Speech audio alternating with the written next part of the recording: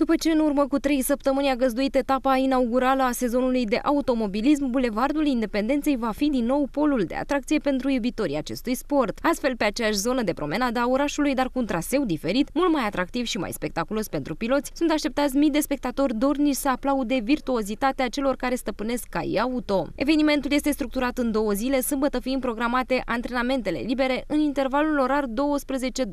în timp ce duminică de la ora 10 va avea loc antrenamentul cronometrat urmat de cele două manșe de concurs și festivitatea de premiere.